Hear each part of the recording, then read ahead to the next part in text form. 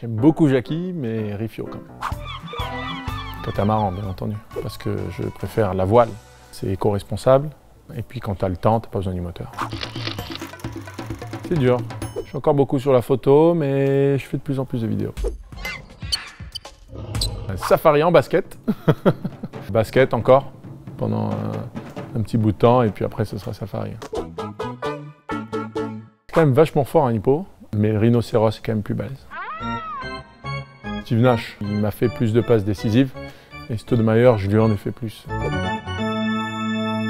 Ah, les deux États sont assez similaires, je dirais Utah. Le désert d'Arizona, c'est magnifique, mais l'Utah, tu as les deux. Tu as le, le, désert et la montagne, euh, qui est aussi magnifique. Ah, les deux sont l'un en face de l'autre, donc tu peux faire les deux.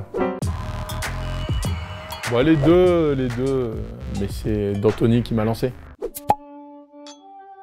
Vin rouge, quand même. Ça dépend vraiment des occasions, et ça dépend vraiment de la nourriture qui va avec. Espresso.